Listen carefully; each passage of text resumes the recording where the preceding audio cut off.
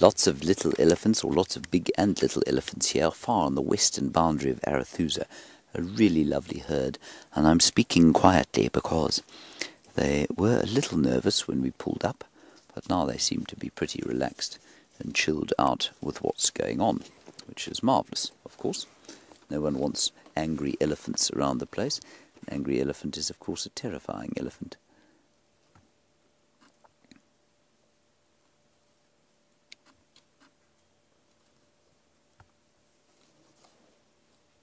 This is fantastic.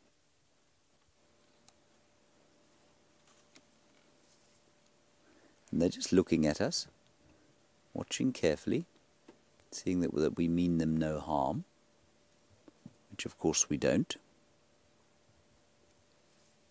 Just watching, deciding if we're a threat, hopefully going to assess that we are not a threat.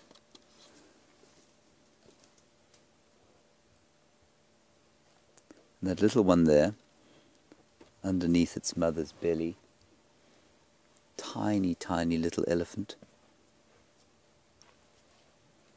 Isn't that fantastic? So tiny.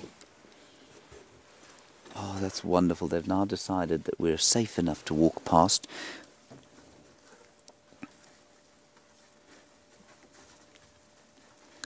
Isn't that awesome? Ooh, just listening. Decided they're not quite comfortable yet.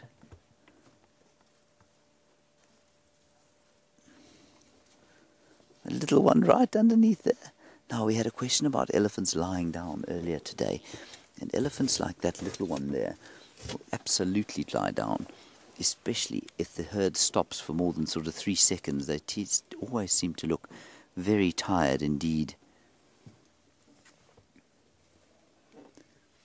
And look at the beautiful colours of the grey earth with the grey elephants and just a little touch of green in the bushes behind.